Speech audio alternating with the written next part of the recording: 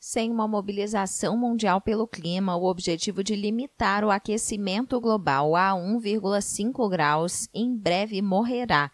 O alerta foi feito nesta quinta-feira pela ONU em um relatório em que denuncia a falta de avanços significativos no último ano.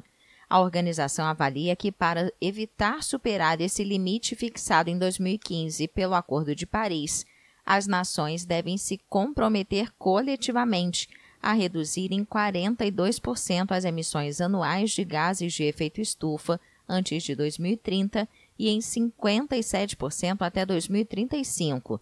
O secretário-geral da ONU afirmou nesta quinta-feira que o mundo já está enfrentando as consequências da falta de ação.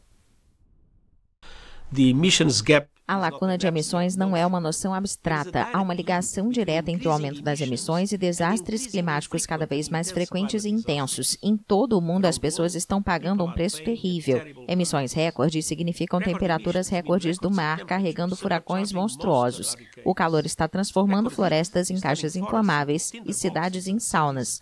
Chuvas recordes estão resultando em inundações bíblicas.